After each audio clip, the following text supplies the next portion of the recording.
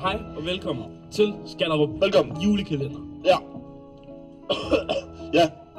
En julekalender, hvor vi spiser en chili hver dag. Eller teknisk set spiser vi 4 chili, 24 chilier på en dag. Mm. Men deler det op i 24 afsnit, så det ligner, at vi tager en chili om dagen. Øhm, Ja. Men det gør vi ikke. Øh, så det er lidt hårdt, det her. Mm. Øh, vi er allerede vi er på dag 11. Jeg synes, det er ret mange chilier nu. Og det er rigtig mange chilier. Øhm, og ikke så meget mælk, fordi at vi, har, jo- vi får jo kun mælk øhm, Hver til advent. Ja. Og det er jo ikke i morgen, der er mælk. Men øh, i dag, der må vi lide. Øhm, og så tager vi en chili, og så snakker vi lidt om et emne. Ja.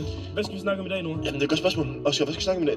Hvad skal vi egentlig snakke om i dag? Ja, den tænker jeg også på. Jeg tænker faktisk, hvad er det vi skal snakke om i dag? Ja. Hvad skal vi snakke om i dag? Skal vi snakke lidt om mad? Jo. Nu vi sidder vi og spiser, og, vi spiser her. og hygger os, så skal vi snakke lidt om mad. Nu. Lad os gøre det. Mm. Så øhm, kom med chilien. I dag skal I have en dejlig rød chili. Uh. What? Rød chili. Er det bare det? Simpelthen. Nå, lad os hugge om det. den ser mild ud, men øh, det kan godt være, at den dræber alligevel. Sten, tak. Nej! Øh, jeg tager den her, fordi den ser tynd og flot ud. Der er Det var- kerner i. Det var ret heldigt. Okay. Så tager den her. Den ser faktisk meget fin ud. Skål på det. så Nej, du tabte den. Skal vi dele den her så? Jeg tager halvdelen, du tager Skål.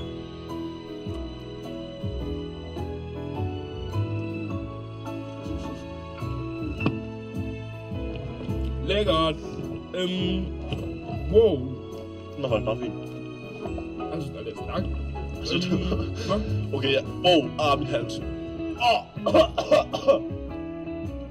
Oh, fuck. Hvad var emnet i dag? Ah, fuck, ah, fuck. Mad. Mad. Ja, Maden her bøf. ja. Lad os lige starte med, hvor meget mad vi får. Vi får jo 6 måltider om dagen. Så tænker man jo, tykke svin. Men med så meget aktivitet.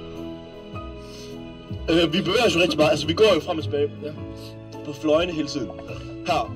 Vi er faktisk lige her, frem og tilbage. Øhm, og så har vi også en halv, hvor vi laver rigtig mange aktivitet. Og vi har morgengymnastik et par gange om ugen. Og øhm, øh, så har vi også nogle aktive valgfag. Og sådan noget. Så vi forbereder os en masse. Og, øhm, og så skal vi så løbe op, op for at spise en masse mad. Ja, Vi har været 6 6 måltider om dagen. 6 måltider om dagen, ja. Øhm, vi har morgenmad om morgenen. Og øh, hvad så kommer... Hvad kommer så? Øh, hvad, hvad er det?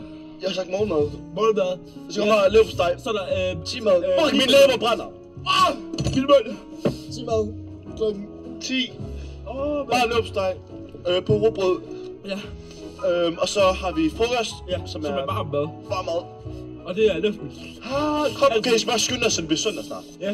Og det er næsten altid et noget mega lækkert. Ja, det er mega lækkert. Og så har vi øh, øh, øh, eftermiddagsservering, som er sådan råbrød og knækbrød og sådan noget. Og så har vi øh, aftensmad, som bare er råbrød, Ja. øh, som man kan smøre med rigtig lækker mad. Og så har vi aftensservering kl. 9 Og der er nogle gange kage, men også altid øh, havregryn. havregryn. Øhm, så man øh, kan spise, og man bliver mæt. Ah! Øh, vi ses i morgen til søndag. Vi får mælk i dag. Hej.